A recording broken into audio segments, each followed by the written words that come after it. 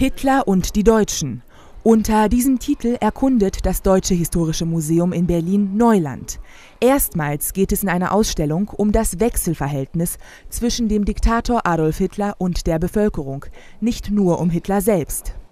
Wir zeigen nicht die Person, nicht das relativ harmlose, unbedeutende Leben dieses Menschen, dieses Anstreichers aus Wien, sondern wir zeigen, wie es passieren kann, dass dieser Mensch mit dem deutschen Volk in ein symbiotisches, eigenwilliges Verhältnis kommt und wie er zur Reflexionsfläche für die Vorstellungen dieses Landes und dieser Bevölkerung wird.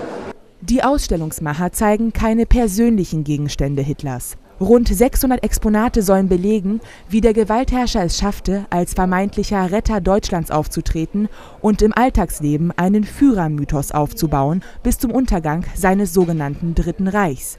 Bereits am Eröffnungstag zieht die Schau zahlreiche Besucher an und weckt gemischte Gefühle.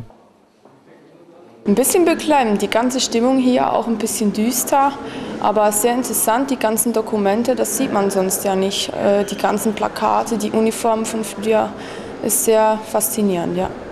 Ja, man spürt ein wenig die Angst mit, die da herrschte von den Leuten.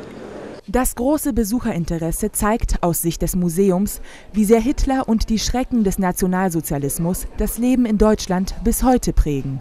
Wir leben alle ungebrochen in dem, was dieser Mann mit dem deutschen Volk hinterlassen hat. Unsere Städte sind kaputt, unsere Umwelt ist verändert, unser Leben äh, von vielen ist zum Teil dramatisch verändert worden in der Generation der Eltern, der Großeltern. Also äh, Hitler ohne Ende. Die Ausstellung Hitler und die Deutschen läuft noch bis zum 6. Februar 2011.